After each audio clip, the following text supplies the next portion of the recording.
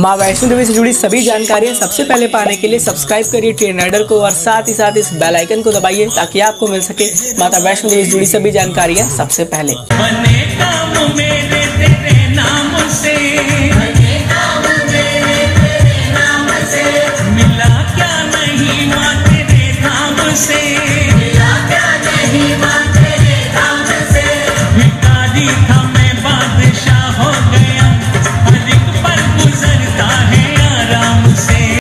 माता दी। सबसे पहले तो आप सबका बहुत बहुत स्वागत है एक नए प्यारे से वीडियो में। मेरा नाम है आयुष और आप देख रहे हैं आपका प्यारा चैनल ट्रेन राइडर। फ़िलहाल मैं मौजूद हूँ कटरा में और अगर आप आगामी दिनों में श्री माता वैष्णो देवी की पवित्र यात्रा करने वाले हैं तो मेरी आप सबसे हाथ जोड़कर अपील है कि इस वीडियो को आप अंत तक देख लीजिएगा, जिसमें आप सबको श्री माता वैष्णो देवी की यात्रा जुड़ी सारी नई नई जानकारियाँ प्राप्त हो जाएँ। सबसे पहले हम शुरुआत करेंगे कोरोना टेस्ट और साथ ही साथ कोरोना वैक्सीनेशन को लेकर। बहुत सारे भक्तों के मन में काफ़ी डाउट चल रहा है और उन्होंने बहुत सारी ऐसी वीडियोस भी यूट्यूब पर देख रखी होंगी। देखिए, मैंने आपको पहले भी ये इन्फॉर्मेशन शेयर की थी और अभी भी आपको मैं यही जानकारी दूँगा कि अगर आप आगामी दिनों में श्री माता वैष्णो देवी की यात्रा करने वाले हैं तो या तो आपके पास वैक्सीनेशन के दोनों डोज की सर्टिफिकेट हो, फिर तो आपका कोई भी कोरोना टेस्ट कुछ भी नहीं होगा। सिर्फ़ आपको स्टेशन पर आना है, अपना रिपोर्ट्स दिखाना है और फिर आप यात्रा की ओर आगे बढ़ जाएँगे। वहीं अगर आपको वैक्सीन की सिंगल डोज लगी है या फिर आपने वैक्सीन की कोई भी डोज नहीं लगवाई है, फिर तो आपको अपना कोरोना टेस्ट कराना होगा।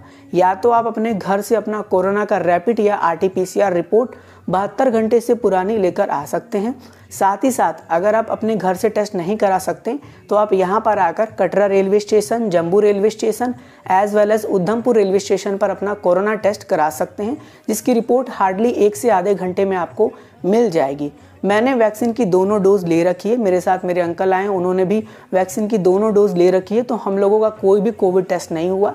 सिंपल सा हम लोगों का कोविड वैक्सीनेशन का सर्टिफिकेट देखा गया और फिर हमें आगे जाने की परमिशन दे दी गई। तो जैसा कि आपने बड़े ध्यान से इस छोटे से वीडियो क्लिप को देखा है, जो मैंने रेलवे स्टेशन पर शूट किया है, और इसमें पूरी तरीके से आप आराम से आ सकते हैं। कोई भी दिक्कत नहीं है, मैंने आपको पहले भी बताया, अब भी कह रहा हूँ, या तो वैक्सीन की दोनों डोज की सर्टिफिकेट लेकर आइए, या फिर अपना कोरोना टेस्ट का रिपोर्ट लेकर आइए, जो बहत्तर घंटे से पुरानी नहीं होनी चाहिए। बढ़ते हैं वीडियो में आगे और बात करते हैं, क्या है वेदर का रिपोर्ट। तो आप देख सकते हैं कि मैं स्वेटर पहना हूँ, और मैं आपको बता दूँ, कटरा में ठंड जो है वो हल्की हल्की लग रही है। वहीं बात करें अगर भवन की तो जैसे जैसे आप भवन की ओर प्रस्थान करेंगे, आपको हल्की हल्की ठंड लगने लगेगी। इसलिए मेरी आप सबसे एक सजेशन रहेगी कि आप अपने साथ अपना गर्म कपड़ा लेकर आइए। आप जैकेट भी लेकर आ सकते हैं स्वेटर भी लेकर आ सकते हैं और हाँ कैप भी लेकर आइएगा, जिससे आप पूरी तरीके से प्रोटेक्ट रहेंगे। अगर बात करें यात्रा की तो फ़िलहाल इस टाइम जो डेट है, वो आज का डेट लगभग पाँच नवंबर 2021 है और इस डेट पर मैंने नोटिस किया है कि कटरा में तो हल्की फुल्की भीड़ भाड़ देखने को मिली है, यानी संख्या बहुत ज़्यादा नहीं है। वहीं अगर हम बात करें तो मुझे जहाँ तक लगता है कि बीस हज़ार से लेकर पच्चीस हज़ार तक इस समय संख्या बनी हुई है। फ़िलहाल मैं जो देख रहा हूँ, वो हर प्रकार की सुविधाएँ, चाहे जम्मू से कटरा का बस सर्विस हो, या फिर श्राइन बोर्ड के भवन हो भोजनालय हो, ये सब कुछ खुले हुए हैं। कटरा में दुकानों की बात की जाए तो पूरी दुकानें लगभग खुली ही हैं, और होटल्स वेटल्स भी सब खुल चुके हैं। ठीक है तो आप अगर यात्रा का प्लान कर रहे हैं, बिल्कुल आप आ सकते हैं। कोई भी दिक्कत, परेशानी, प्रॉब्लम नहीं है। अगर बात करें सुविधाओं की तो देखिए, श्री माता वैष्णो देवी श्राइन बोर्ड द्वारा हेलीकॉप्टर की सुविधाएँ पूरी तरीके से मिल रही है। अभी हेलीकॉप्टर चल रहा था और बात करें अगर घोड़ा, पिट्ठू पाल की या रोपवे की तो ये तमाम प्रकार की सुविधाएँ निरंतर मिल रही है। अगर आप यात्रा पर आ रहे हैं, मैं आपको यही रिकमेंड करूँगा, अपने साथ गर्म कपड़ा ज़रूर से लेकर आइएगा। बाकी तो वैक्सीनेशन की सर्टिफिकेट लाइए, या फिर कोविड नेगेटिव रिपोर्ट लेकर आइए। वो आरटीपीसीआर भी हो सकता है और रैपिड भी हो सकता है। बारिश तो अभी फ़िलहाल नहीं हो रहा है, लेकिन अगर आप आ रहे हैं तो रेनकोट रख लीजिएगा। कहीं अगर बारिश होगा तो आप उससे बच जाएँगे। यात्रा पर्ची की बात करें तो यात्रा पंजीकरण काउंटर खुला हुआ है, लेकिन रात 10 बजे तक खुला रहता है। तो आप अगर रात में यात्रा करने वाले हैं, या फिर आप यात्रा पंजीकरण काउंटर पर नहीं जाना चाहते हैं तो आप अपना ऑनलाइन यात्रा पर्ची लेकर आ सकते हैं। मैं फ़िलहाल यात्रा पर आ चुका हूँ और मैंने अपना सब कुछ ऑनलाइन ही बुक किया है। क्योंकि मैं जान रहा हूँ कि यहाँ आने के बाद मुझे भीड़ का सामना करना पड़ सकता है। हो सकता है कुछ ना मिले एबिलिटी ख़त्म हो जाए। तो इससे बेटर रहेगा कि आप सारी बुकिंग जो है वो अपने साथ घर बैठे ऑनलाइन ही कर लीजिए।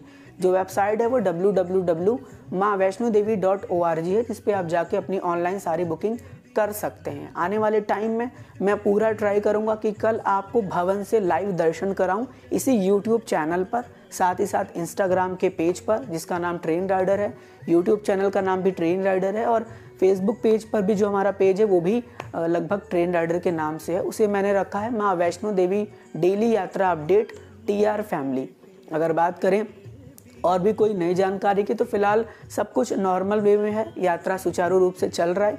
कोई दिक्कत, परेशानी नहीं है। हाँ इस चीज़ का खास ख्याल रखिएगा कि गर्म कपड़ा आप ज़रूर से लेकर आइएगा। पैकिंग अच्छे से कर कर ले आइएगा। बच्चे बुज़ुर्ग को लेकर आ रहे हैं तो उनका खास ख्याल रखिएगा। चलिए, अब मैं अपनी बातों को यहीं पर समाप्त करता हूँ। और आप सबसे हाथ जोड़कर एक ही निवेदन करूँगा कि अगर आपने अभी तक इस चैनल को सब्सक्राइब नहीं किया है, दूसरे भक्तों तक शेयर नहीं किया है तो सब्सक्राइब करते हुए दूसरे भक्तों तक शेयर कर दीजिएगा। इस वीडियो में अगर छोटी मोटी मुझसे गलतियाँ हो गई होंगी तो मुझे क्षमा करिएगा क्योंकि मैं हूँ कटरा में, माता रानी के पवित्र पावन धर्म की नगरी कटरा शहर में, जहाँ से हमारी यात्रा की शुरुआत होती है। कल यात्रा की शुरुआत हम करेंगे और यात्रा की शुरुआत जैसे जैसे हम करेंगे तो हम आपको अपडेट देते चलेंगे। इन फ्यूचर अगर आप कोई और अपडेटेड जानकारियाँ या किसी और टॉपिक पर वीडियो चाहते हैं तो कमेंट करके मुझे ज़रूर बताइएगा। आने वाले टाइम में आपको होटल से रिलेटेड भी बहुत सारी नई नई वीडियो देखने को मिलेंगी और भी जितनी नई वीडियोज़ मैं शूट करूँगा, वो भी मैं ज़रूर अपने चैनल पर अपलोड करूँगा।